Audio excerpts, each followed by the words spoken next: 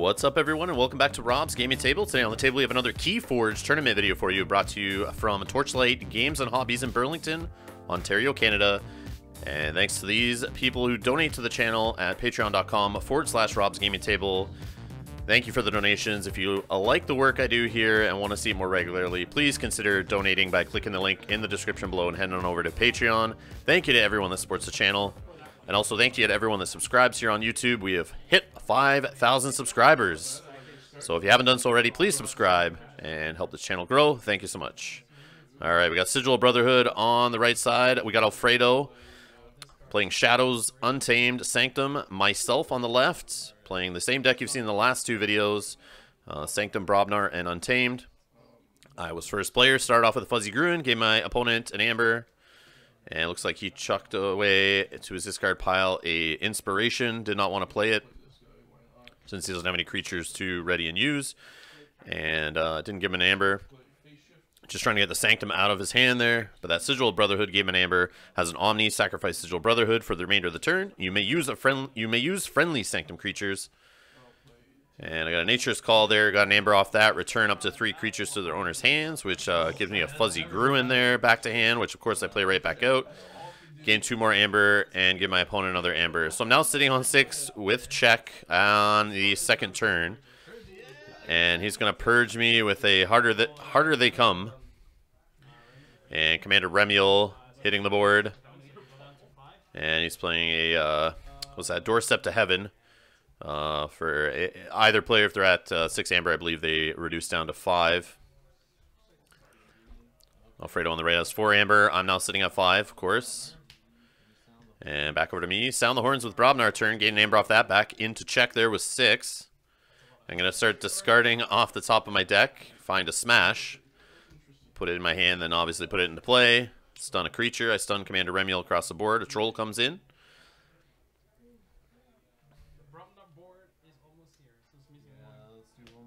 And another smash.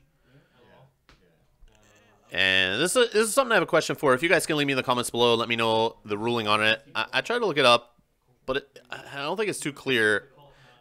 Um, so I played a second smash there, and I, was I able to target Commander Remiel even though he is already uh, already stunned?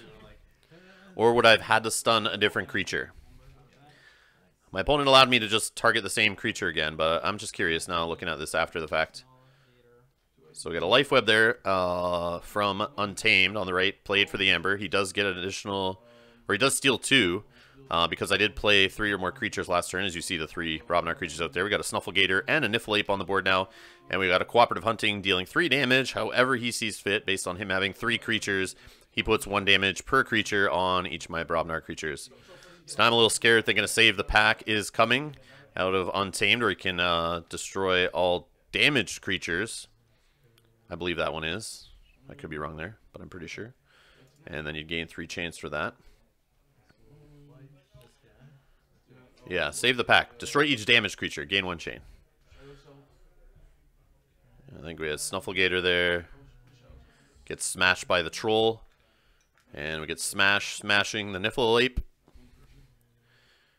Get rid of its good fighting creatures. I think at this point I, I realized Save the Pack might have been coming, so I thought, eh, just throw some more damage on my guys, fight. I don't want him leaving creatures around that don't have damage on them yet, so at least this way I just smash them off the board beforehand.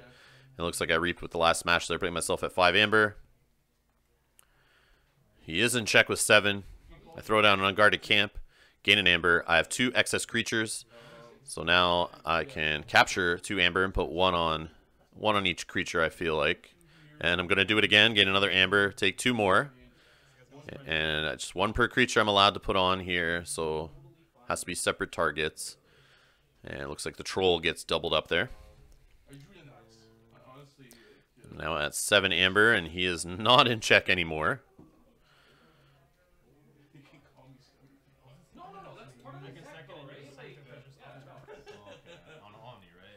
I maybe should have saved that other unguarded camp there. Now looking back at this.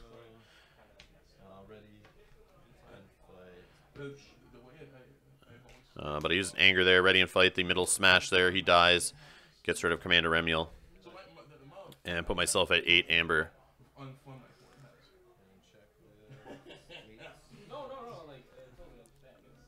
So I've cleared my opponent's board. Well, let's see what he has.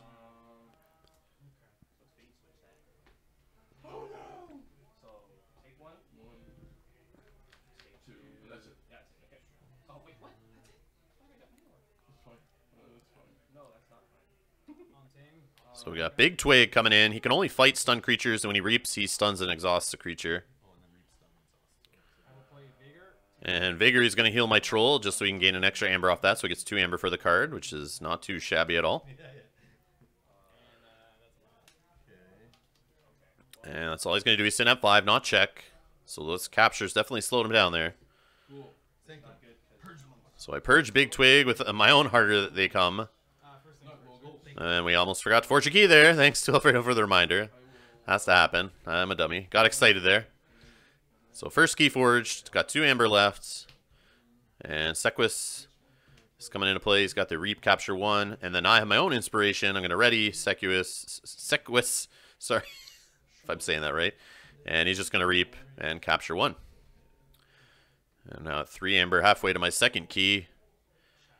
And my opponent now names Shadows. Bad Penny in play. It's going to Pawn Sacrifice. Great combo. Gets an Amber off of Pawn Sacrifice.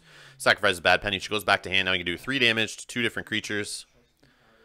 But neither of them are... None of them are actually close to dying yet, so... I'll just... He does 3 on the Troll. 3 on Smash. And Duskrunner gives Reap Steal 1 to Nexus there. Nexus has that Reap ability. You can use an opponent's artifact as if it were your own, I believe. And now I'm going untamed. I got a troll there. I have more creatures with Flaxia. She's going to come out and give me two amber for that. Offer playability. A Dust Pixie. Two amber just for playing it. And here we go. Uh, cooperative hunting. I got five creatures out there, so I'm going to be able to deal five damage. Get around some of that elusive. So Nexus is gone. Bad Penny back to hand. And I'm going to do the Dust Pixie for my other damage. I want her in my discard pile for a possible future regrowth. So I'm at 7 with check, ready for my second key. Alfredo still hasn't uh, got to his first yet. But he is playing Shadows. It is an Archon tournament. I'm assuming he's got lots of steel in that deck. Or maybe I think we see Miasma there in his hand. That's also another opportunity to slow me down, but he's got to add some steel with that to get me off of forging the following turn.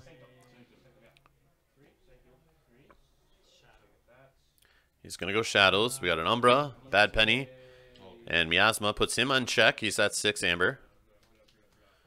So I have to skip my Forge key step here. Now, can I get him off forging his first key to delay him another turn and return the favor there? And maybe stop him from stealing some Amber in the future with Umbra, who's the fight steal one ability, and skirmish. So I'm going to reap with the troll, get another Amber. He heals three off himself.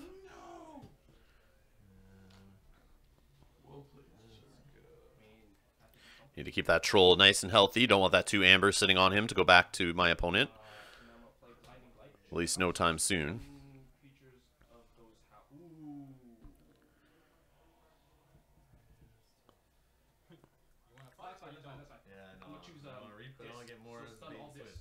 Yeah, so you hear it there. I, I want to fight with my Brobnar guys, but it might not be a good idea because they have Amber on them, and I don't want to give it to my opponent. And I don't really want to reap and get too much amber because if I can't get him off a key, he's going to forge a key, then bait and switch my face is what I see coming. And I'm pretty sure that's what's going to happen here if I remember correctly. I do see it in his hand. And I'm just going to go for it here. Reaping, anger. I just figure I'm ahead on keys, so even if he does bait and switch me, I, as long as I have enough for a key forge on the following turn, and he's not able to steal it from me, I'm fine getting my second key after he's just got his first. It will close the gap, though. So it looks like I... Looks like I fought... Looks like I fought with the troll there to kill Umbra. And he's going to do bait and switch, of course. So we're each going to go to five amber each. So that is good. I remember mathing it out in my head, trying to think, even if he did bait and switch, as long as he's not ready to forge a key on the following turn, I'm okay with that, because I should be able to get to forging a key here. But, of course, he has ways of getting Amber, so that doesn't... That logic doesn't really work out. So he is sitting at 7. But if can I get him off a key and still forge my own? Let's see. So yeah, he did get me off forging a key though with that bait and switch, which really does suck. So Radiant Knight coming in, capturing one. I think I played. I think I played. Um, I think Radiant Truth there. Uh, just for the Amber, stunning each enemy creature not on the flank, which obviously is no enemy creatures. And Protectrix on the other side. It looks like Sequius reaped there, or Sequus, sorry, reaped there and captured one. So I've got him off forging a key again with the capture I have. And Sergeant Zakiel there readying and fighting with the Radiant Knight, who has armor. And of course, Bad Penny's uh, damage gets blocked there by the armor, but Bad Penny gets destroyed and goes back to my opponent's hand. And I got quite the number of creatures on the board now. And you see with the unguarded camps and the Flaxias, the deck's definitely uh, gets really crazy when you do have more creatures on the board than your opponent. So we got a Bureaucrat out there who gets uh, two Amber generated every time you name House Sanctum. Then we have a Sanctum Guardian, who's 6-1, uh, Knight in Spirit. He's got Taunt, and then he has Fight Reap ability. Swap Sanctum Guardian with another friendly creature in your battle line. And Alfredo doing a good job there, putting the Sanctum Guardian a little up on his battle line to show that he has taunt.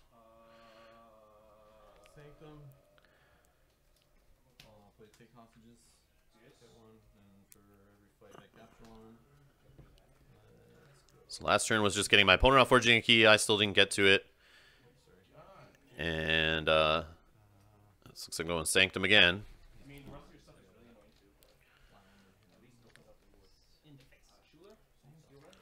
Sitting at 7 Amber. Doesn't look like I have any Sanctum in hand. All Untamed. Ready to pop off for my third key with all my Untamed Amber. With this many creatures on the board, I gotta name factions that I have more guys on the board, get use out of them. And use them to hurt my opponent's board and try to just gain Amber and keep my opponent locked down. So here's another issue that came up, and I believe we ruled it wrong. Protectrix can't choose and heal you can choose and heal a creature that has no damage, but that doesn't count as healing if you heal no damage, so you can't do the rest of his ability. Uh, my opponent allowed it here and told me that was the way it worked, but I'm pretty sure it was wrong, but you guys can let us know in the comments below. And then people watching this video in the future can learn from our mistakes. But I'm pretty sure you can't use Protectrix like that. He actually does have to heal for them to not take damage.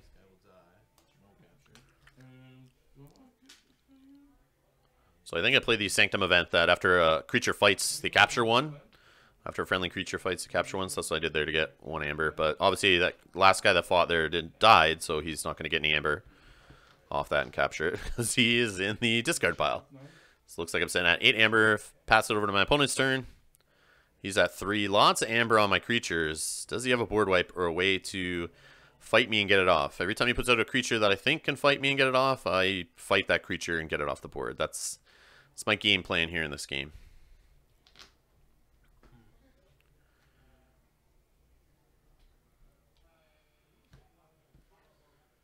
And I'm not afraid to throw away a creature that doesn't have Amber Capture on it just to keep a creature with Amber Capture on it safe.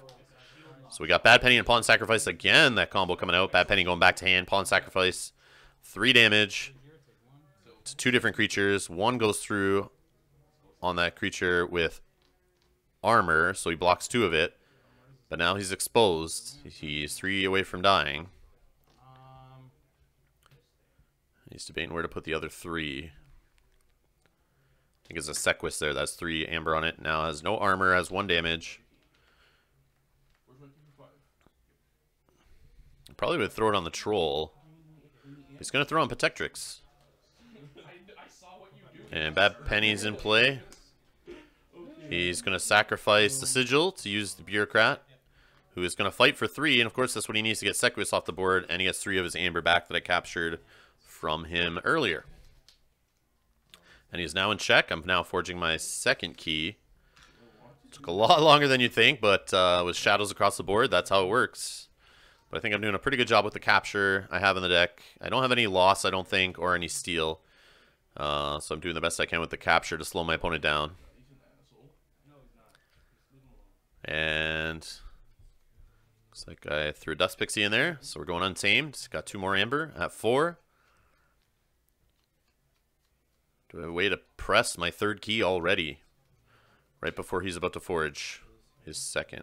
So Way of the Wolf gets another Amber, so I'm at five. I throw it on the Troll. Troll's great to have Skirmish on. So he hits with that eight, and you want to kind of keep him alive with all the Amber on him. Ancient Baron to play, Niffle Ape into play. And Regrowth, one Amber. Probably go get that Dust Pixie or the Fuzzy Gruen. That were... Oh no, Fuzzy Gruen is, uh, is purged. So will be the Dust Pixie that I killed earlier with the Cooperative Hunting to plant in my discard pile. And the great thing with this deck is if you can't plant it, sometimes you just get stuff planted from Regrowth uh, using the uh, Sound the Horns or whatever it is from Brobnar where you start discarding your deck into your discard pile. So that's a way sometimes you can seed some of those creatures in there without your opponent doing it for you. Or yourself. So I'm now sitting at 9 Amber. He's forged his second key. But he has not enough steal or capture or anything to get me off that final key, so that's it. So I push it through there. That's the last game of the tournament. I did go undefeated at this tournament. Still came in second. We didn't do enough rounds to find a definitive winner. So uh, my buddy Jeff Levac uh, from my meta also went undefeated and won. So both of us went undefeated. That was a great tournament. Thanks to Torchlight for hosting us. Thanks to everyone for watching. More Keyforge coming up. See you in the next one.